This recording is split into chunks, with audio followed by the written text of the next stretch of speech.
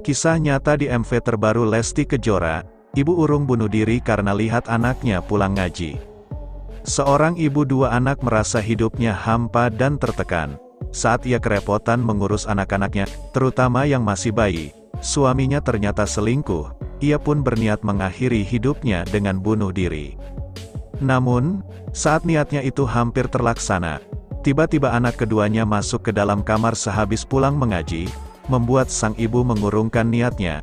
Itu adalah cuplikan adegan di musik video, MV, terbaru dari Lesti Kejora berjudul Menyerah. Lagu itu ciptaan sang suami, Rizky Bilar, dan dinyanyikan Lesti bersama Uung Victoria Vinky atau yang lebih dikenal dengan Mom Uung.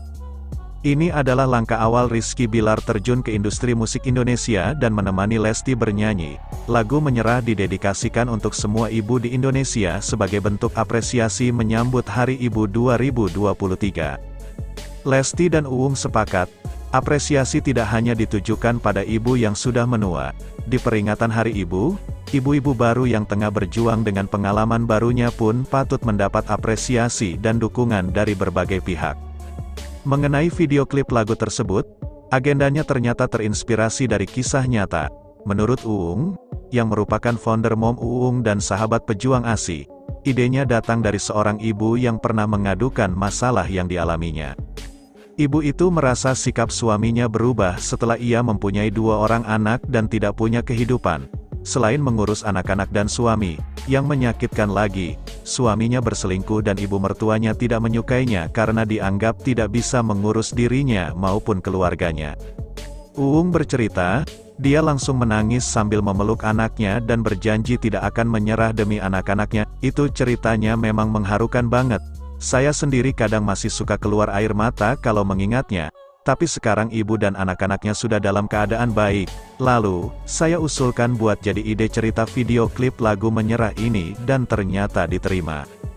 Usai pemutaran MV di acara tersebut, ternyata banyak ibu-ibu yang hadir meneteskan air mata, termasuk Lesti. Meski sudah mengetahui jalan cerita MV Menyerah, ibu satu anak itu mengaku masih terharu dan bisa menangis sesegukan setiap kali menyaksikannya.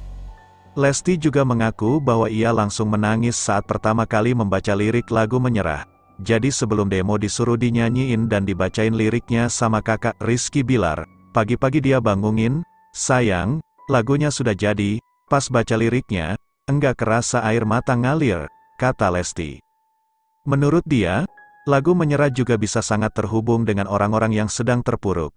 Lewat lagu ini, Lesti dan Bilar mengajak orang-orang bangkit dari keterpurukannya. Titik terendahkan bukan hanya dirasakan ibu, tapi orang-orang yang lagi hancur, terangnya. Lesti juga berharap lagu ini bisa merangkul ibu-ibu di luar sana yang sedang mengalami masa-masa terendah, khususnya terkait mengurus dan menyusui anak. Bilar sebagai pencipta lagu sekaligus produser mengatakan, lirik yang ia buat terinspirasi dari pengalaman pribadi saat mengalami titik terendahnya. Mengenai inspirasi, jujur diambil dari apa yang saya alami. Saya percaya bukan saya saja, pasti semua pernah alami titik terendah. Karena itu lirik yang saya keluarkan di sini ingin mengajak jangan menyerah dan percaya keikhlasan, kesabaran, akan membuahkan hasil, ungkap Bilar. Lagu Lesti Kejora dan Rizky Bilar trending. Tembang, menyerah, jadi sorotan Aurel Hermansyah. Penyanyi dangdut Lesti Kejora kembali merilis lagu baru. Karyanya kali